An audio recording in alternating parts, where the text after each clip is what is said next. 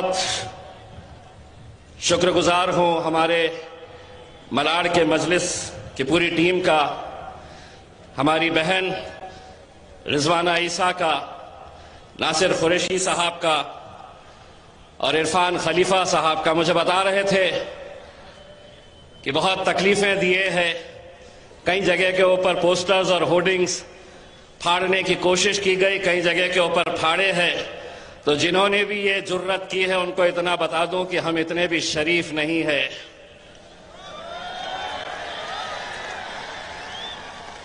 या यूँ समझ लीजिएगा, हम जरा से शरीफ क्या हो गए तो तुम पोस्टर फाड़ने निकल गए हैं। अल्हम्दुलिल्लाह, आज बैरिस्टर असदुद्दीन अवैसी साहब आए हैं। हमारा तो प्लान ये था कि अकबर अवैसी साहब भी साथ में आएँगे, लेकिन आपको मालूम है कि अकबर अवैसी साहब की तबीयत नासाज होने की वजह से वो आ नहीं सके हैं। मुझे ये भी बताया गया है कि यहाँ पर यह बात चलाई जाती थी कि अवैसी भाई कहीं पर भी आ जाएँगे कि लेकिन मलाड़ के अंदर नहीं आएँगे। हम उन्हें आने नहीं देंगे। उन तमाम लोगों को जो ये ख्याली पुलाव बना रहे थे। अगर देखना है तो देख लो।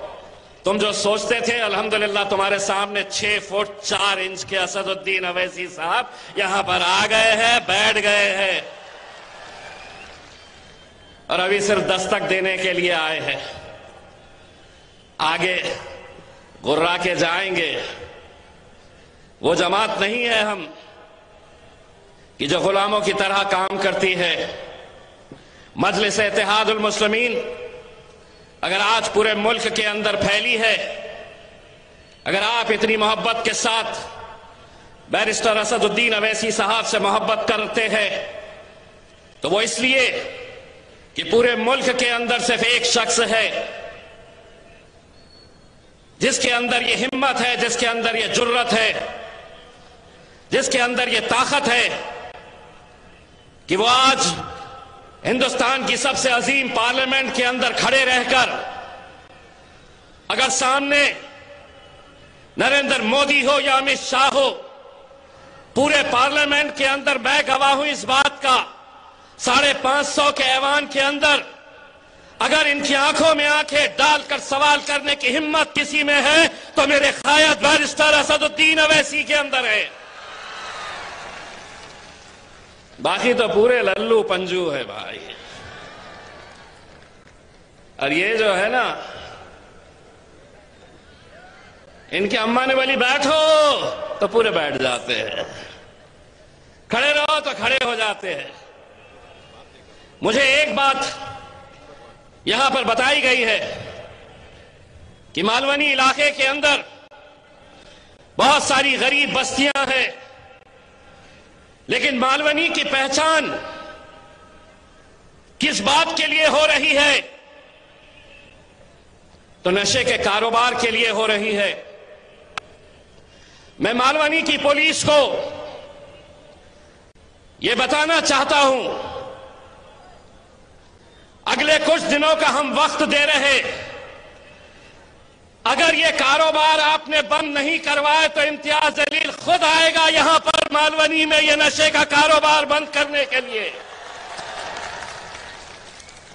मैं मालवनी पुलिस के तमाम वरिष्ठ अधिकारियों को यह कह रहा हूँ कि हम अपनी आँखों के सामने हमारी नौजवान नस्ल को बर्बाद होते हुए नहीं देख सकते। और कोई साथ दे ना दे मेरी माए और बहनें मेरे साथ पूरी ताकत के साथ खड़े रहेगी। मैं तमाम मजलिस के जिम्मेदारों को यह कहता हूँ, रिजवाना जी, एक एक घर में जाइए। मुझे बताइए किन किन इलाकों के अंदर, किस थाने के अंदर ये नशे का कारोबार चल रहा है? अगर कुछ दिनों के अंदर अगर ये बंद नहीं होता है पूरी तरीके से, मालवनी की आवाम, नौजवानों, बुज़ुर्गों, मेरी माँ और बहनों, मैं तुम्हें इतना यकीन दिलाता हूँ, मालवनी की सड़कों के ऊपर इतना भव्य मोर्चा नहीं देखे होंगे जितना मोर्चा हम निकालेंगे यहाँ पर और उसमें आप लोग हमारा साथ देंगे। मुझे मालूम है कि आज इस मुल्क के अंदर एक साजिश के तहत नशे का कारोबार इन बस्तियों के अंदर खोला जा रहा है। यकीन मानिए, अगर पुलिस चाही, सरकार चाही, प्रशासन चाहा 24 घंटे के अंदर ये बंद कर सकते हैं। लेकिन कहीं ना कहीं ये नौजवान नस्ल बर्बाद होना, नशे का लत लगाओ इन्हें। ये किसी काम के नहीं रहना। ये सब साजिश के तहत अलग अलग शहरों के अंदर ये देखने को मिल रहा है। मुझे यकीन है, यहाँ की पुलिस इस बात को संजीदगी से लेगी और ये कारोबार बंद करेगी, अगर नहीं करेगी तो इम्तियाज़ जलील सड़क के ऊपर उतरेगा और यहाँ पर एक भव्य मोर्चा निकालेगा। पुलिस के खिलाफ निकालेगा कि तुम नहीं बंद कर रहे। और अगर तुम कह दो कि हम नहीं बंद कर सकते तो हम में इतनी ताकत है कि हम भी जाकर उसे बंद करवा सकते हैं। मेरे भाइयों, ये बहुत ही संजीदा मसला है और उसके ऊपर हम सबको बहुत ही गौर के साथ इस बात को सोचने की ज़रूरत है।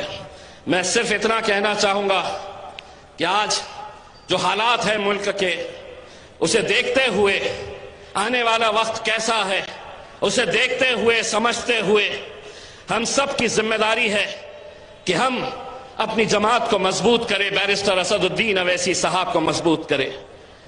आज कहीं ना कहीं इस मुल्क के अंदर एक ऐसी फिजा तैयार की जा रही है। समाजों के बीच में, जाति धर्म के बीच में दीवारें पैदा की जा रही है। दरारें पैदा की जा रही है। हर रोज टीवी के ऊपर कैसे कैसे बयान आ रहे अब हालत यह हो गई है कि तुम्हें ज़िंदा जलाया जा रहा है। ज़िंदा नौजवानों को जलाया जा रहा है।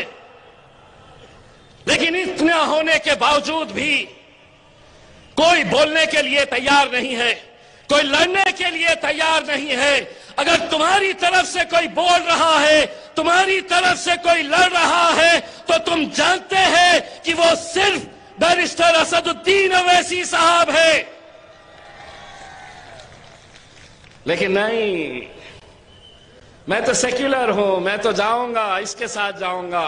मेरा मेरा मालिक कौन? तो मेरा मेरा आका शरद पवार है। मेरा नेता कौन है? तो राहुल गांधी है। क्यों नहीं बोल रहे हैं? अगर वो तुम्हारे नेता है तो क्यों नहीं बोल रहे हैं? आज इस मुल्क के अंदर जो फिजा चल रही है, एक ऐसी फिजा है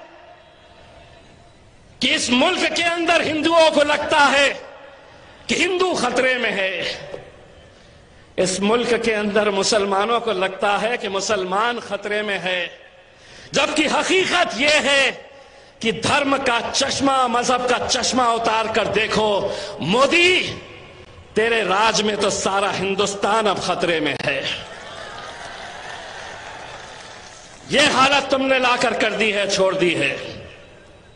मुझे मालूम है कि आपको बैरिस्टर असदुद्दीन अवैसी साहब को सुनना है। पहली मरतबा असद साहब यहाँ पर आए हुए हैं। तो मैं ज़्यादा नहीं बोलूँगा। असदुद्दीन अवैसी साहब से दरख्वास्त करूँगा कि वो आए और आपसे मुखातिब हो। बहुत बहुत शुक्रिया वाखिर